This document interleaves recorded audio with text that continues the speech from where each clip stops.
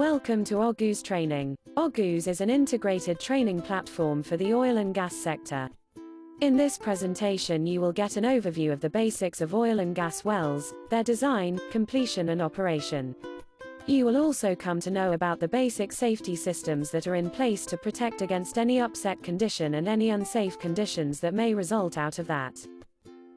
If you happen to pass by any oil and gas field like in Calgary, Alberta or in the oil and gas fields in the Middle Eastern countries, a view similar to these pictures are common. These are the wells, through which the crude oil and gas comes out to the surface of the earth from deep underground. An well is a boring into the earth, that is designed to bring the petroleum hydrocarbons to the surface from the underground reservoir. The upstream oil and gas sector is mostly about wells, how and where and how many of them to drill, how to operate and maintain them safely and optimally for maximizing the production, and how to safely abandon them at the end of the field's life. Well drilling process may take anywhere between 21 days to a few months depending on the location, that is onshore or shallow offshore or deep water, type of reservoir formation, depth of the well and the complexity of the reservoir. The drilling begins with drilling a large diameter hole and the diameter is gradually reduced in stages as the drilling is advanced. After completion of each stage, the drill string is retrieved to the surface and a smaller diameter drill bit is fixed to the drill string. Usually at lesser depths drilling is carried out by a method called air drilling and drilling at greater depths, usually below the surface casing, utilizes drilling mud. Drilling mud or drilling fluid can be either oil-based or water-based, and is a mixture of bentonite clay, special polymers and thickeners. The major purpose of the drilling fluid or mud is to provide hydrostatic pressure to prevent the reservoir fluid coming to the surface uncontrollably. It is very important to keep track of the level in the mud tank and monitor the rate of incoming and outgoing mud flow. The mud also brings back the rock cuttings to the surface, keeps the drill bit cool and provides lubrication to the drill bit.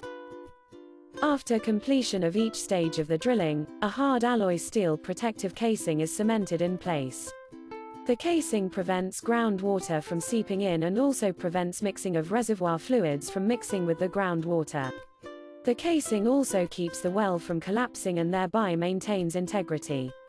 The initial or conductor casing goes for the first 50 to 80 meters underground.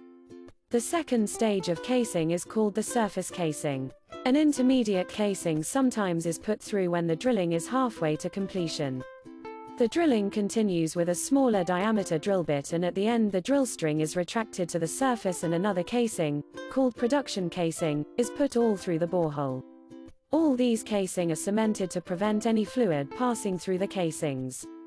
The well is pressure tested after each layer of casing is installed. The production tubing is installed through the production casing. A packer is installed between the production tubing and the production casing. Production packers are devices that seal the tubing to the casing annulus and force the produced fluids from the wellbore into the completion tubing. After the well is drilled and production tubing is installed, the tubing is perforated with a perforation gun to create a pathway for the reservoir fluids to move inside the well bore and come to the surface. Nowadays downhole temperature and pressure sensors are installed to continuously monitor the reservoir pressure and temperature. In the description section you may find videos that show the drilling process in more detail in animation format.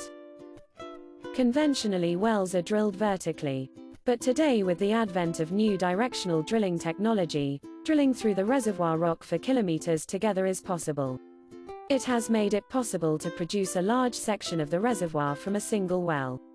After the certain depth is reached, a special tool is inserted through the drill string.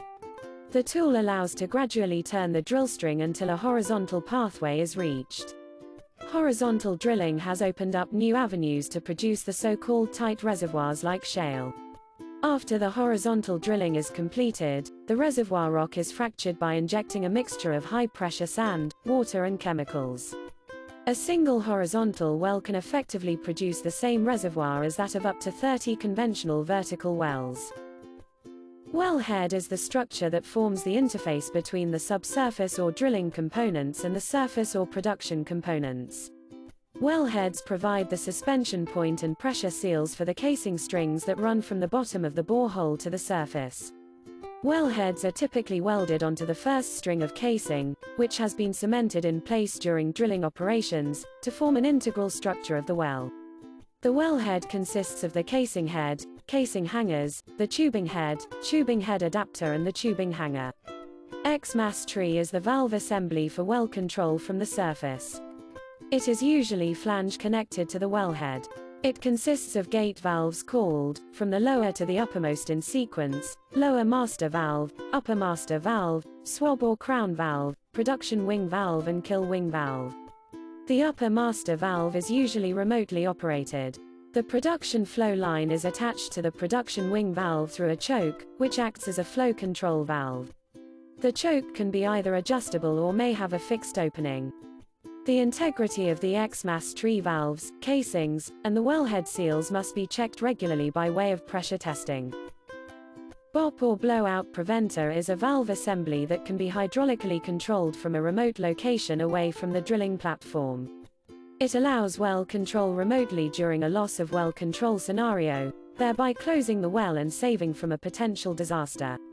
SCSSV or Surface Controlled Subsurface Safety Valve is a hydraulically operated device that allows the well to be shut in from the surface in case of loss of well control during production.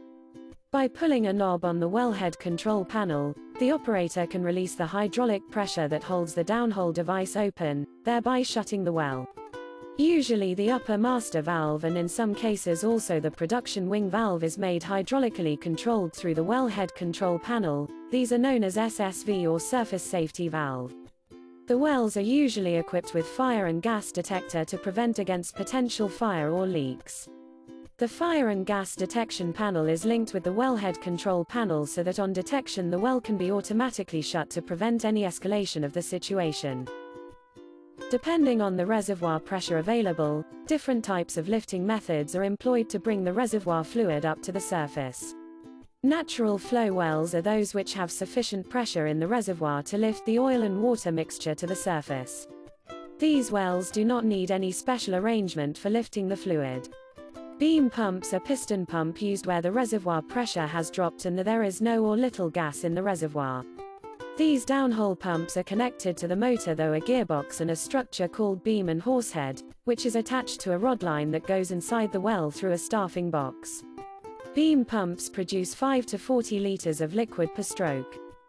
Gas lifts are employed for handling well fluid volumes larger than beam pump wells and where the reservoir contains some gas but not enough to lift the fluid up to the surface. Gas is injected through the casing into the well fluid through a series of gas lift mandrels. The gas mixes with the well fluid and creates bubbles thereby making it lighter. The lighter fluid can be pushed by the reservoir pressure up to the surface. For a successful gas lift project to work, compressed gas must be available in the facility. ESP or electrical submersible pumps are centrifugal pumps which are installed downhole for handling large volume of preferably light and low viscosity crude oil and water mixture. PCP or progressive cavity pumps are helical gear pumps and are used for wells characterized by highly viscous fluid and high sand cut. These positive displacement pumps are so called due to the continuously reducing cavity or area as the fluid progresses. In our next video we will discuss about surface processing facilities for the fluid produced through the wells. We hope you liked this video. Do leave your comments and subscribe to our channel for more such informative videos.